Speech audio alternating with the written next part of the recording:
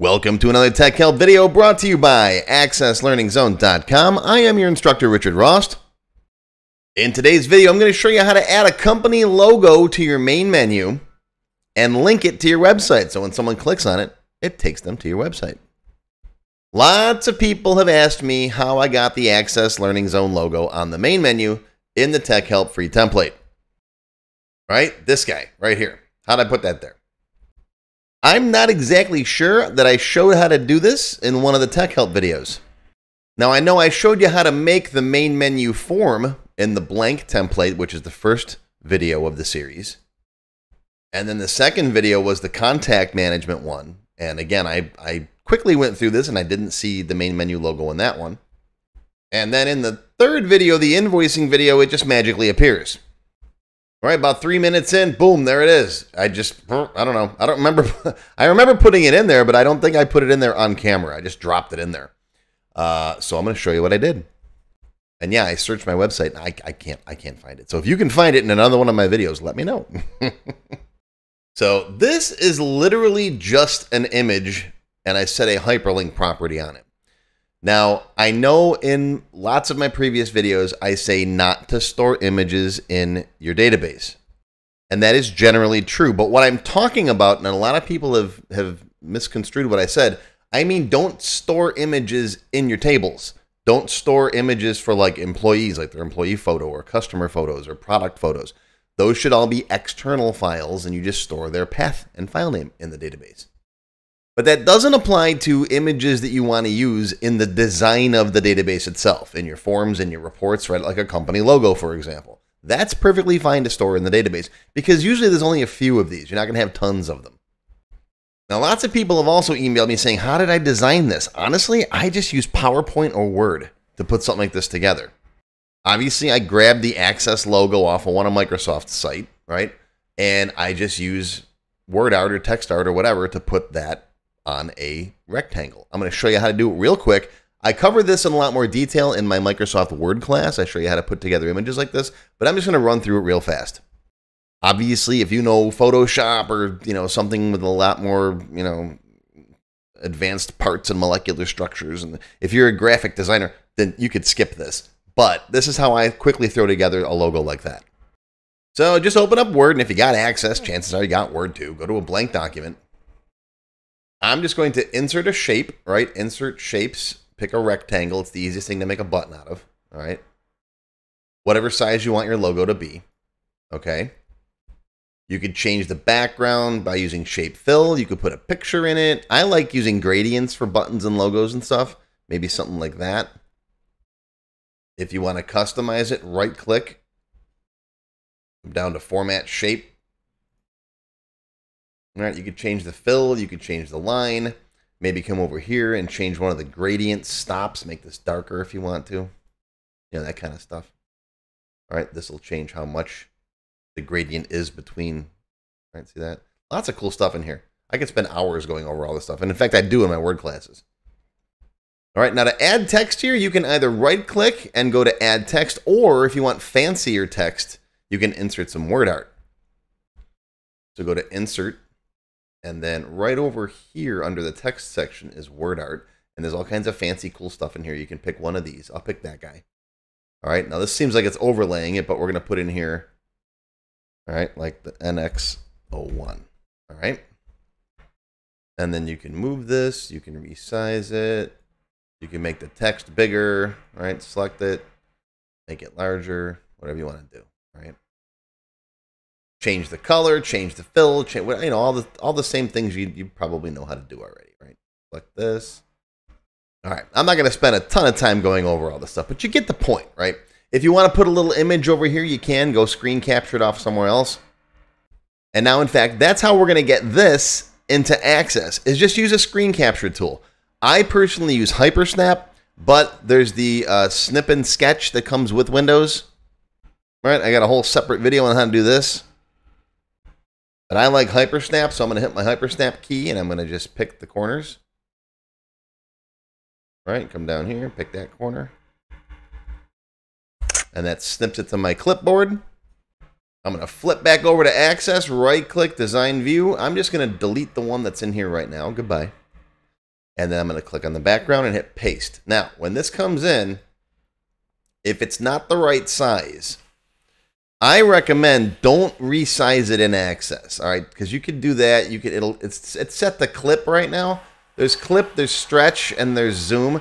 You're never going to be happy with any of these options, okay? So what I suggest is resize it either in your snip and sketch tool or just resize it in Word and take another screenshot. All right, so delete that. Come back over to Word, right? And just zoom out. Look at zoom out so that's about the size that you want it. And this is going to look the best. All right, that's about the size I want the button in Access, right? You can flip over here and take a peek. Yeah, that's good. All right, now again, do your screen capture. And you can use the keys with, with Hypersnap, you can use the keys to move back and forth like that. Put it right about where you want it with the mouse and then use the arrow keys. Perfect. Come back over here, paste it in, and look at that. That looks perfect. Let's put it right down here. Okay. There you go.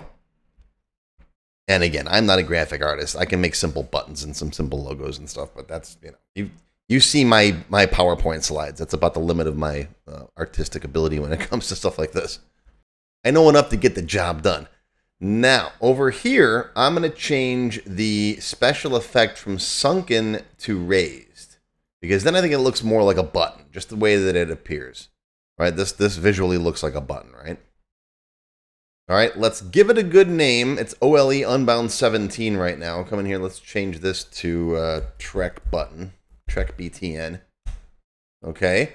And then to make it so it jumps to your website, all you got to do is come down here and find the hyperlink address. There's a sub address and target too. I almost never use those. That's if you want it to jump to like a specific spot on the page. But I'm just going to come in here and in the hyperlink address, type in where you want it to go. https colon slash slash uh, 599cd.com.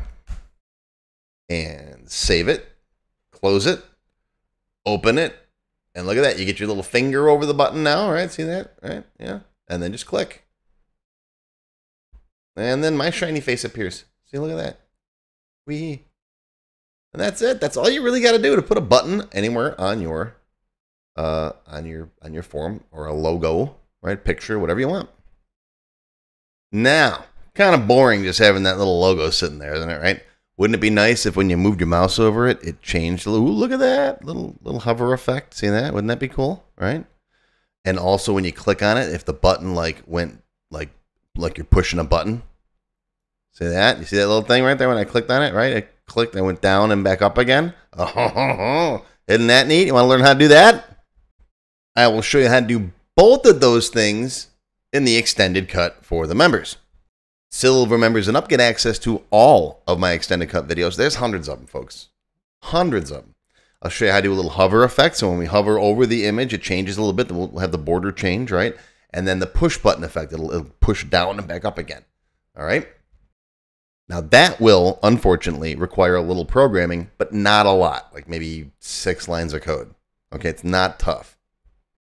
If you want to learn more about this stuff, I cover a lot more with the custom main menu and adding logos and all that kind of stuff in my Access Beginner Level 7 class. So check it out. I'll put a link down below. But that will be your tech help video for today. I hope you learned something. Live long and prosper, my friends. I'll see you next time.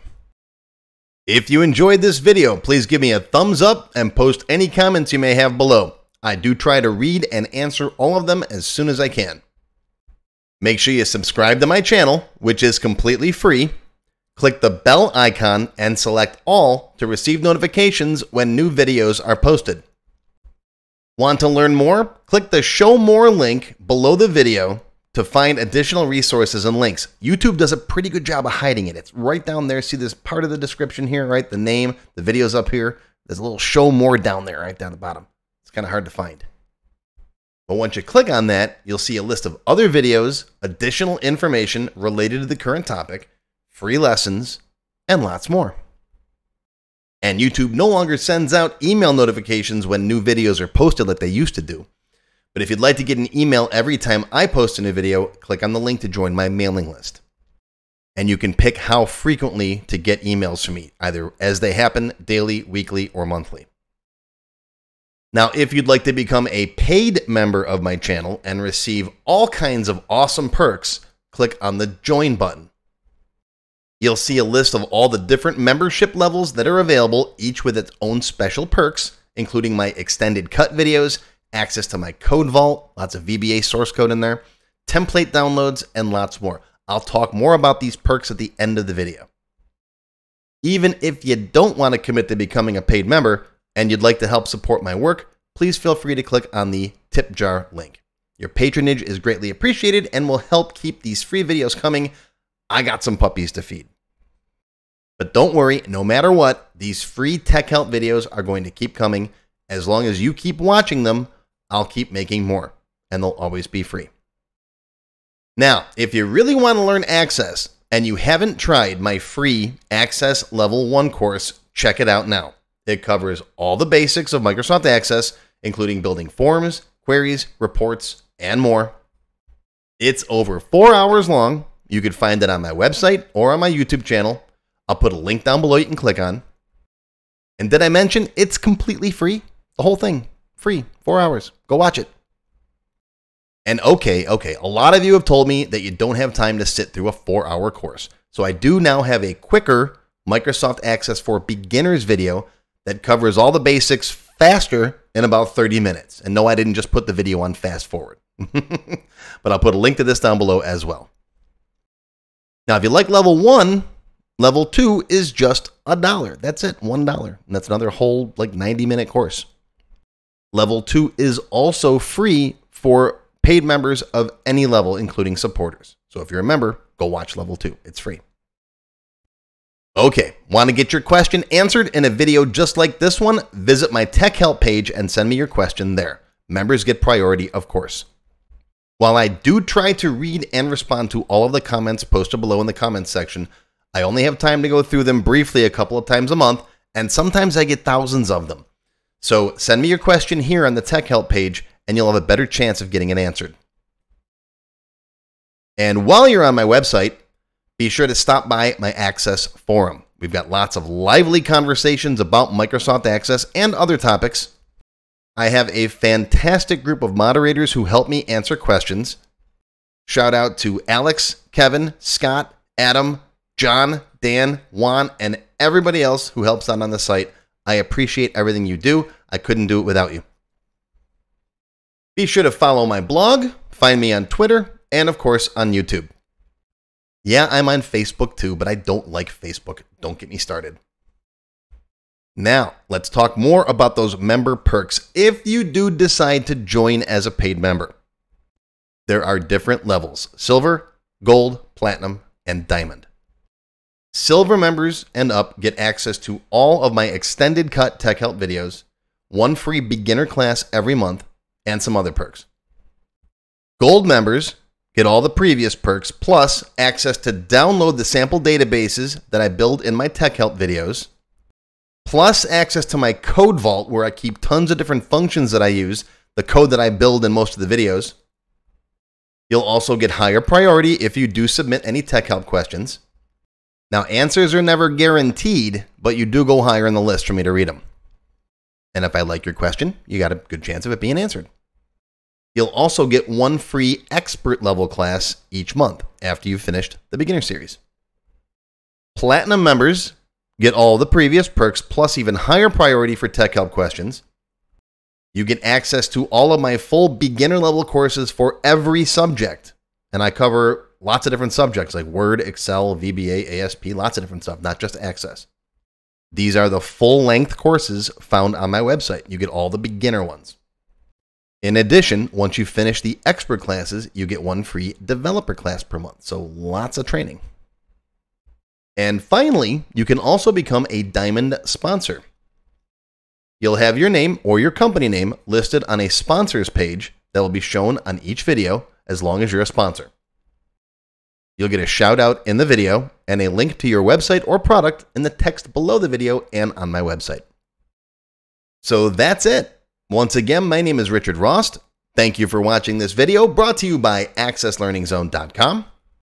I hope you enjoyed. I hope you learned something today. Live long and prosper, my friends. I'll see you again soon.